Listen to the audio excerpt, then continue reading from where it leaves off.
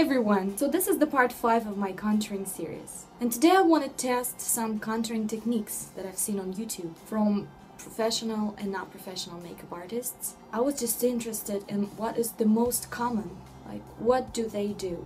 First of all I wanted to look on a picture of a skull. What is the cheekbone itself under all that skin, fat and muscles? So here it is. It is the bone.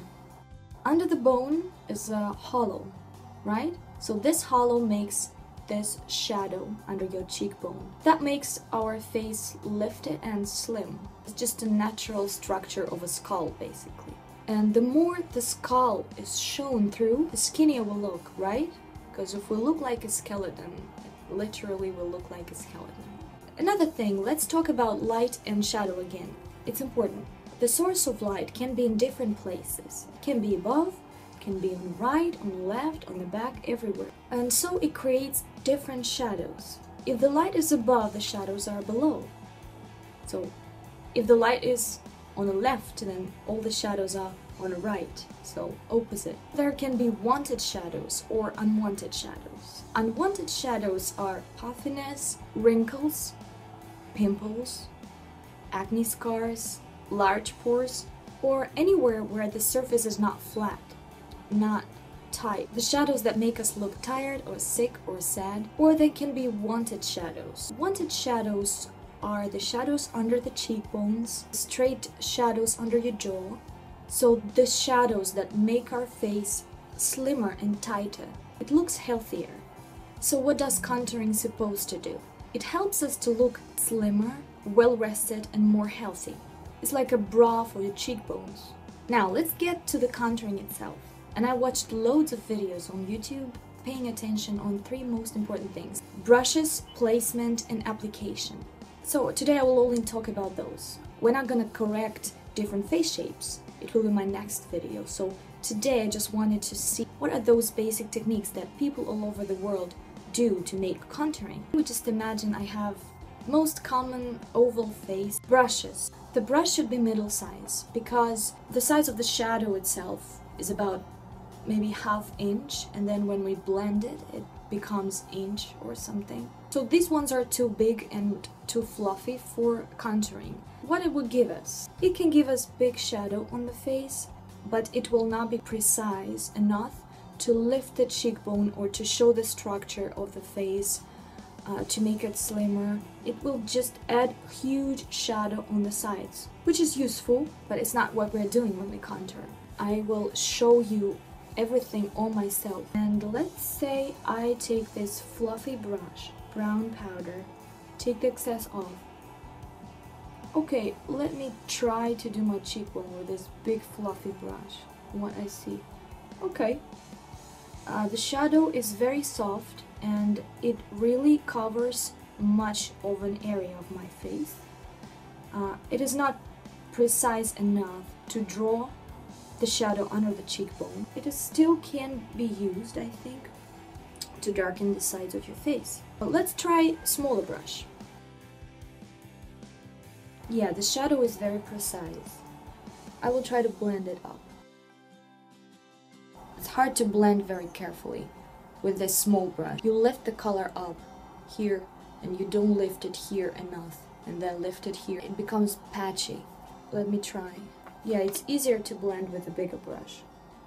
There are loads of options now, uh, but most common brushes are this size and rounded, whether it's angled. Now let's go to the placement. Where is the cheekbone? We already know from my previous parts that uh, cheekbones can be prominent or not prominent. For those of you who have prominent cheekbones, that means you already have that natural shadow under your cheekbone. All you need to do is just turn on the light which is above your head and look in the mirror or make a picture. As soon as the light is falling from above on your cheekbone, then you will have that natural shadow under your cheekbone. And all you will need is just to repeat this. But there are so many faces where the cheekbones are not prominent, so when people don't know where their cheekbones actually are. I'm one of those people, I have no idea, so I'm gonna find out now using three most common techniques that I found in those videos. Here's the moon face girl. Hello. Most common advice on finding your cheekbones that I hear from YouTubers and from famous makeup artists is suck in your cheeks and follow the hollow. So let me suck in my cheek and follow the hollow.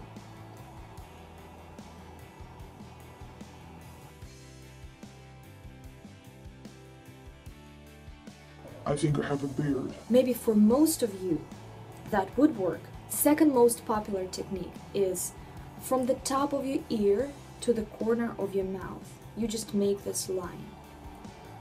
From the top of my ear to the corner of my mouth. Looks more like a contour. When I looked at red carpet makeup pictures, I think most of their makeup artists use this technique. Probably it's the easiest thing because you don't have to suck in anything, try and find the bone the technique number three. So they're trying basically to find the bone under their skin, trying to fill it with their fingers. Or sometimes they say, take a brush and roll it down. It will fit right under your cheekbone and make the shadow right under the bone that I have under there. Let me just do it exactly where my bone is. So my bone starts here. And then it goes like this. Here.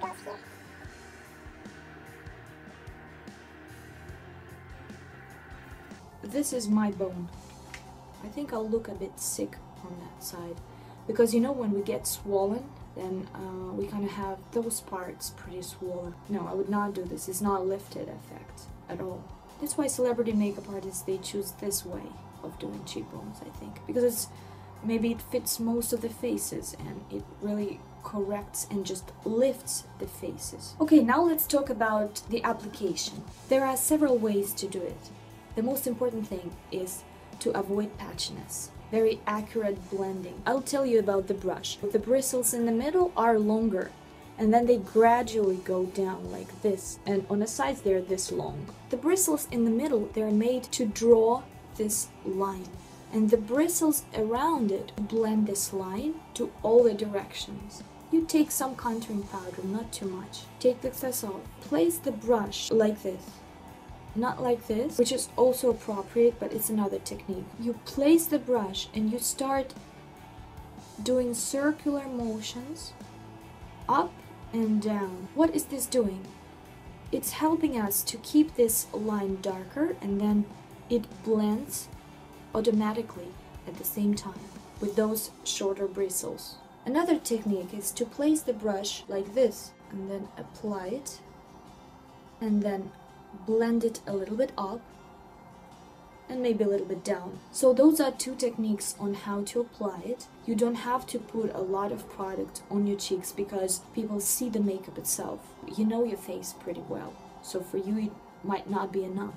You would want to add and add. Slim your face down to almost nothing. So people who talk to you, they look on your whole face and the light parts draw their attention more than the darker part. So if it's a bit darker, it's already enough. You want to make sure that the light is shining on your face. If it's a bit on the side, you won't make it equal from both sides. When I'm doing my everyday makeup, I use uh, this Inglot 505 contouring powder. It's for the lightest skin tones.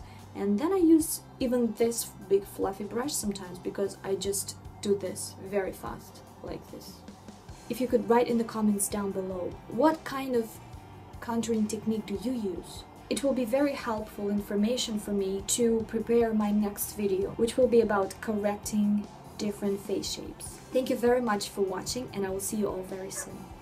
Goodbye!